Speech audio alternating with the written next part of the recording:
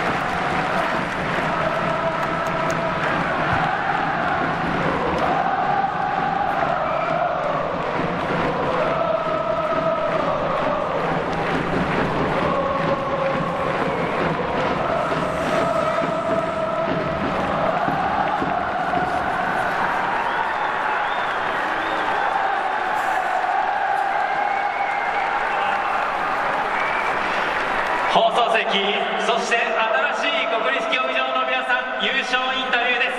ヴィッセル神戸金監督です。神戸に初タイトルをもたらしました。新しいこの国立競技場での天皇杯制覇です。まず気持ちを聞かせてください。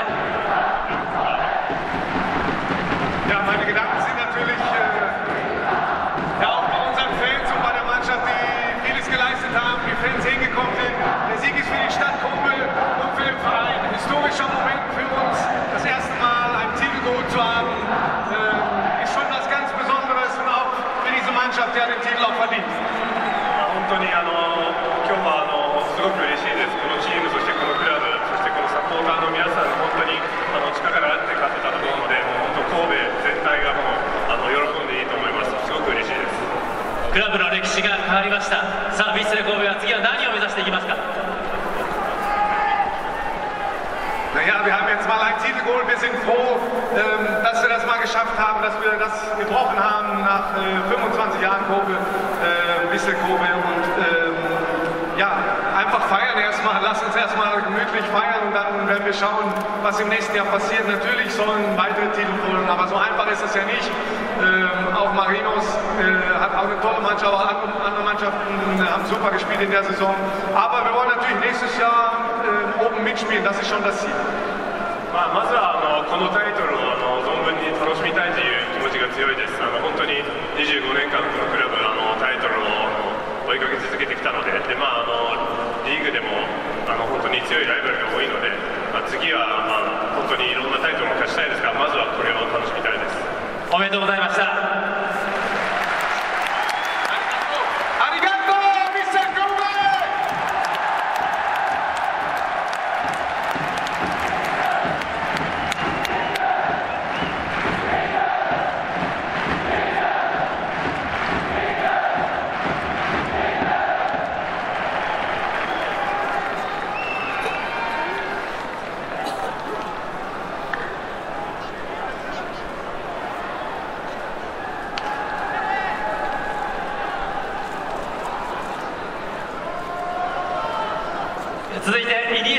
ですワールドカップなどさまざまなタイトルを手にしてきましたイニエスタ選手ですがこの新しい国立競技場での天皇杯のタイトルどんな思いですか Muy, muy especial para mí, para el equipo, primer, primer título en la historia, y muy feliz, he ganado muchos títulos, pero, pero este me hace muchísima ilusión, por lo tanto felicidades a, a Simon Bueno, por llegar a la final, por ser un grandísimo rival y enhorabuena a todo Kobe, a toda nuestra gente y a todo el equipo.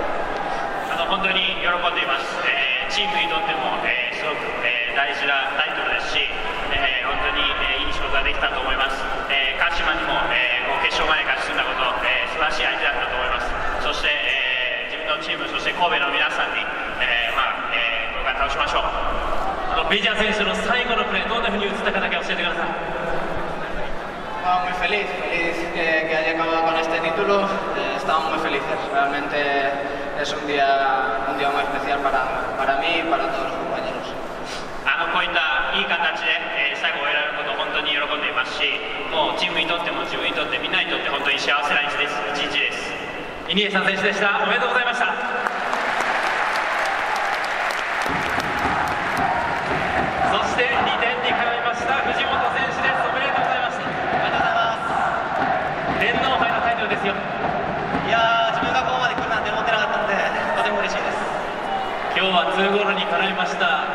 まあ、最初のゴールはオウンゴールになりましたけれどもそれぞれのゴール振り返っていただけますか？そうですね、まあ、1点はルーカスがいいところに入ってきてくれたので、まあ、自分は飛び込むだけだったのでラッキーな得点だったんですけど、まあ、2点目は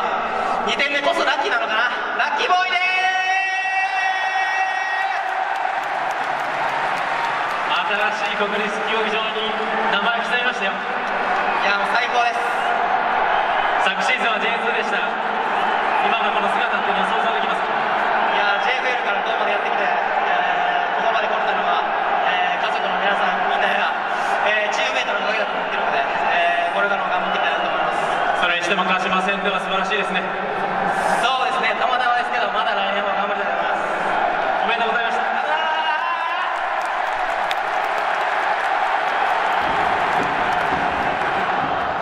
続いて酒井豪徳選手です天皇杯のタイトルを手にしました今どんな思いか聞かせてくださいそうですね自分としても初タイトルだったんで、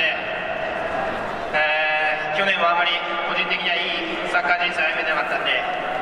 こういった形で、えータイトルを取れたっていうのはすごく個人的にも嬉しく思ってます。ドイツから戻ってきてこのタイトルを手にしました。酒井さんにとっても非常に大きなサッカー人生転機だったんじゃないかと思いますがどうですか？何かをチャレンジしたいという気持ちで帰ってきて意外に思い切ったチャレンジだったかもしれないですけど自分の求めていた目標っていうのをまず一歩ここで今日、えー叶えられたってことがすごく嬉しくて、えーこれをねすごく大事にしながら、えー次のシーズンもしっかり戦っていきたいなというふうに思います。これでアジアチャンピオンズリーグの出場権も手にしました。アジアを相手に戦います。一言お聞かせください。まあ、簡単な、ね、ゲームなんて一つもないってことをね、えー今シーズンみんながすごく分かったと思うし、えーアジアで戦うってことはもっと非常に厳しくなると思うんで本当にチームとしてもっとまとまって、えー成熟度を増して、えー戦いその舞台に戦いに行ければなというふうに思いますおめでとうございました。